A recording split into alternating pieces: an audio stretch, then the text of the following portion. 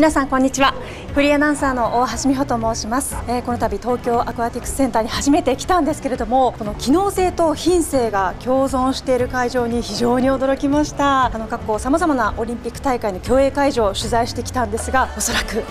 最も素晴らしい世界最高峰の競泳会場だと思います、えー、今コロナ禍でさまざまな苦しい思いをされている方たくさんいるかと思うんですがその中で東京オリンピック・パラリンピックが皆様の人生の光となることを願っています。選手の皆さん応援しております。